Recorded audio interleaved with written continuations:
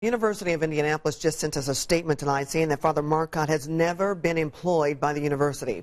As Emily just mentioned, an investigation by the Houston Chronicle and the San Antonio Express shows that 220 leaders or even volunteers and the Southern Baptist Convention have also been convicted of sexual misconduct. That includes six men here in Indiana.